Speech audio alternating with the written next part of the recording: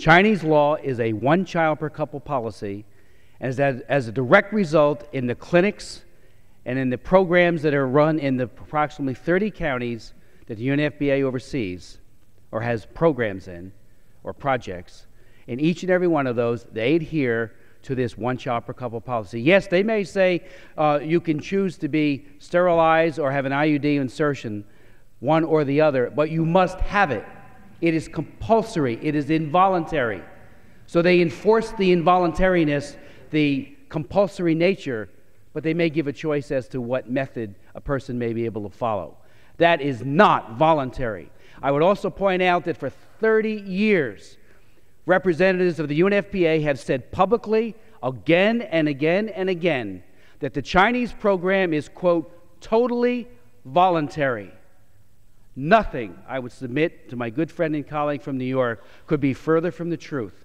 There was nothing voluntary about this horrific program where women are treated like chattel. I have held 27 hearings as chairman of the Human Rights Committee of the Foreign Affairs Committee as a member of Congress. 27 hearings just on China.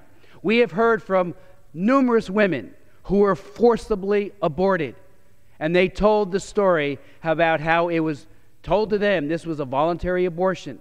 They were coerced, they had sessions with cadres that wore them down, and over time they submitted, feeling they had no way to fight back. I had a woman testify, her name is Wujian. She recently got asylum right here in the United States. She's, she had a well founded fear of persecution based on the forced abortion policy a student at a major university here.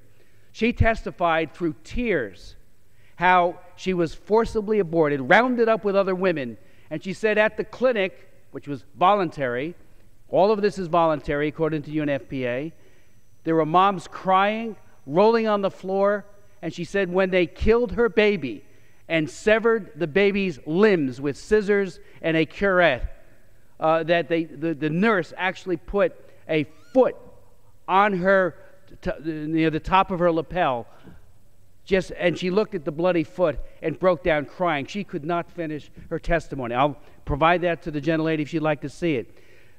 The UNFPA has enabled these crimes, and they are crimes against humanity. At the Nuremberg War Crimes Tribunal, forced abortion was properly construed to be a crime against humanity because it was employed by the Nazis against Polish women. I think we, you know, people like Wei Jingsheng, Harry Wu, the great human rights activists, have all been very clear. The one child per couple policy uh, is one of the worst violations, if not the worst, violations of human rights in scope and magnitude directed against women, of, and of course, the dead children who are the result. So, uh, you know, the UNFPA is a part of that. They defend it. And I, with all due respect to my good friend, uh, this funding of an organization that says that this is a voluntary program must cease because they give tangible assistance. I met finally with Peng Peiyun, the woman who runs the program, ran the program. Yeah, I was in Beijing on one of many human rights trips there. She said to me over and over again in that conversation, the UNFPA is here and they see no coercion. There's no coercion.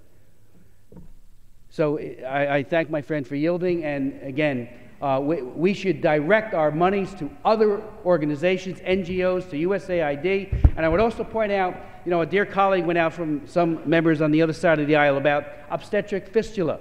I want to point out to my friends, I got a bill passed in this House uh, back in 2005 that established a fistula repair program for women in the developing world. It passed.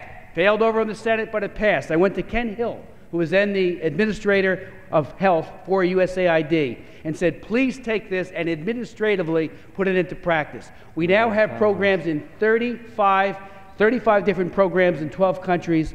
15,000 African and Asian women have had fistula repairs as a direct result of this program. We need to funnel our money into maternal health care and other health care interventions that will aid women, uh, especially those who suffer from such terrible things as obstetric fistula.